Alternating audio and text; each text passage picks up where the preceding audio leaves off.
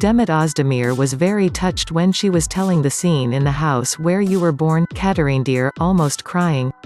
A special publication on TV8 Screen Esser Yenenler show Born in the House of Destiny, the lead actress Demet Özdemir and the screenplay adaptation of the novel was written by the author of the novel Gülseren Budayıcıoğlu and Akin İlikali took place. Demet Özdemir, the most affected stage in the first part of the program told. Özdemir said that she was touched during the stage and said, One of the episode was a very striking episode. There is a scene where Zeynep meets her mother on her birthday. I can't really speak at all. I can't go after my other mother, my real mother behind me. Now I'm very touched to cry. Quote.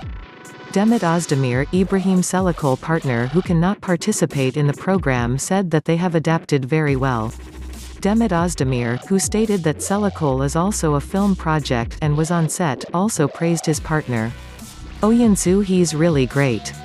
I'd like to say it from here. He has his own patriotic character, which is reflected on the screen.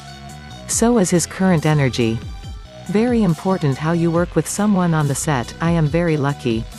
She has a new baby, she has a feature film and she works intensively.